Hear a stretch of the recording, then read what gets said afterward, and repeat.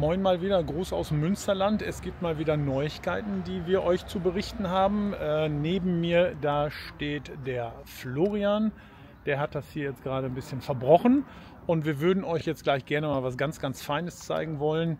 Äh, was wirklich Geniales zeigen wollen. Und zwar zeigen wir euch jetzt den Veloswing von der Firma Thule. Das ist ein ganz neues Teilchen was jetzt auf den Markt gekommen ist. Wir sind sehr stolz. Ich glaube, äh, es gibt bis jetzt nur sehr, sehr wenige, die überhaupt mal in die Lage gekommen sind, diesen Träger zu installieren.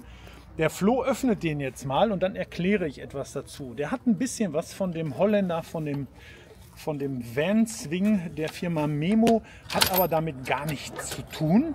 Denn jetzt kommt es, hier wird die komplette Anhängerkupplung weggeschwenkt. Das ist eine ganz, ganz, ganz andere Hausnummer, von der wir hier reden.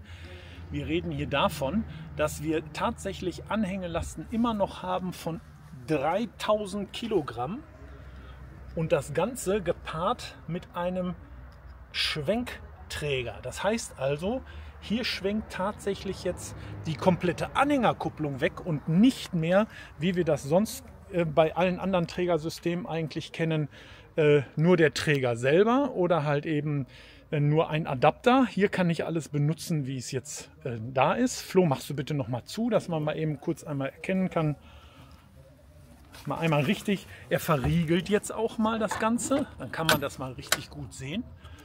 Abschließen. Und das war's. Das ist der absolute Hammer. Das muss man mal tatsächlich sagen. Das ist edel, das ist schick. Es ist nicht ganz günstig. Da fangen wir mal bei 2000 Euro an. Dafür hat man aber tatsächlich zum einen die äh, Anhängerkupplung mit 3000 Kilo Anhängelast und man hat zusätzlich noch äh, die, äh, den Schwenkträger. Und wie war die Montage? Das ging. Du hast jetzt heute Morgen angefangen. Es ist, glaube ich, alles ziemlich edel auch da drin versteckt. Ne? Kannst du noch mal eben kurz erklären, was da unten jetzt gerade ist? Da sagtest du, die haben die Kabelübergänge so genial gemacht. Willst du die vielleicht noch mal einmal ganz kurz zeigen? Wir zeigen noch mal einmal eben die, die Kabelübergänge. Weil das ist schon edel, es ist teuer, da brauchen wir gar nicht drüber reden, aber ähm, für mich im Moment wirklich der Hammer.